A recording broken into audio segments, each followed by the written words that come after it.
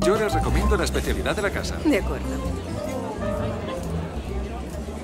Espero que lo disfruten. ¡Voilà! Aquí lo tienen. Es un caracol. Dios mío, se mueven. Deliciosos. No, no quiero. No tengo hambre y basta. Y para terminar, nuestro plato estrella.